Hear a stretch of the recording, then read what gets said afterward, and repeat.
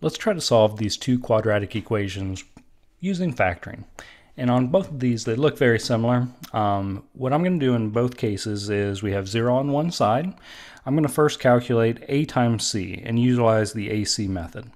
So a times c in both of these works out to be the same, right? It's this first number times the last number. I'm going to kind of ignore that we have a negative in front of the 3. In each case, this will tell us um, some additional information for which pair we're looking for. But go with me on this. 4 times 3 makes 12. So that's the number we care about. I'm going to go ahead and list out all the different ways we can factor 12.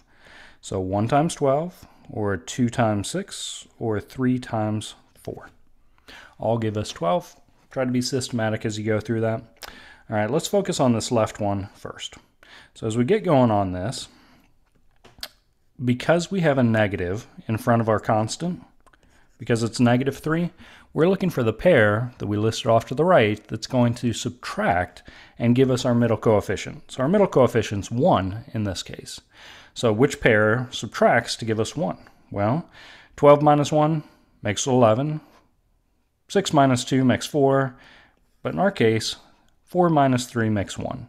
So we're going to strategically split apart our quadratic into four terms.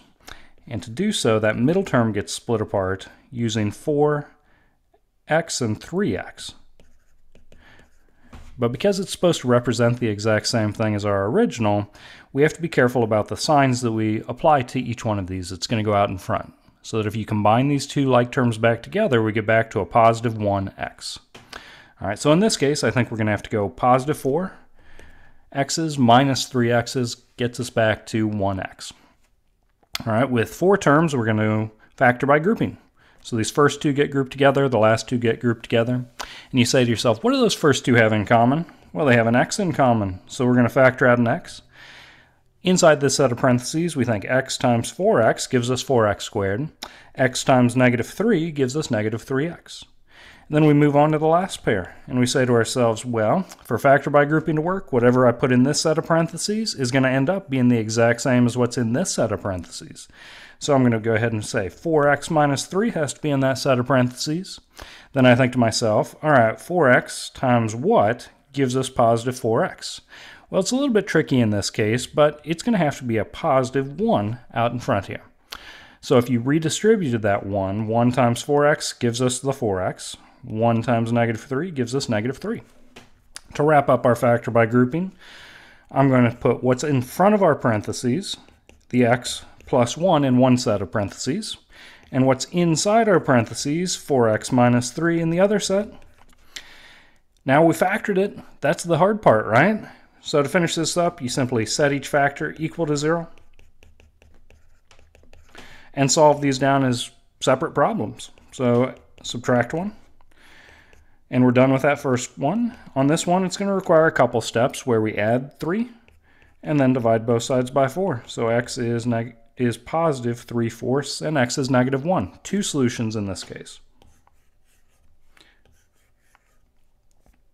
All right, very similar on this other one. A times C also gives us 12, but this time we're looking for the pair that subtracts to make a positive 4.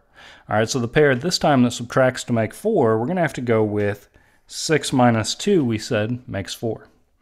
All right, if this had been an addition, we'd look for the pair that adds together to make the middle number, but ours was a subtraction.